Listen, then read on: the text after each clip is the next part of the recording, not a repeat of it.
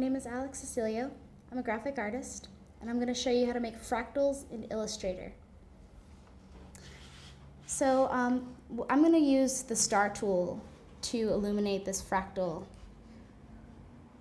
um, effect. So, so first I'm going to draw out my shape.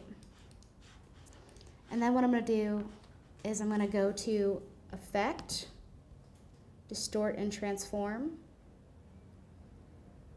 and Transform. And here your transform effects are going to open.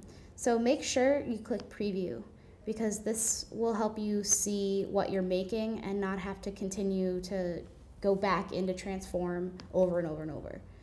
Um, so you can adjust your angle and make sure if you're, since you're making a fractal, make sure you've got, you know, at least 10 copies. Um, oops, except don't push enter like I did. Um, 10 copies.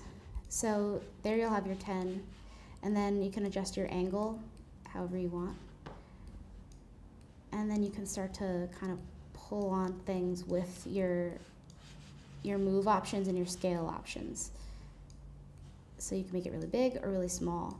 Um, and I'm actually to make the angle more that way. And then you can just mess around with these until you find what you like, which is what I'm doing.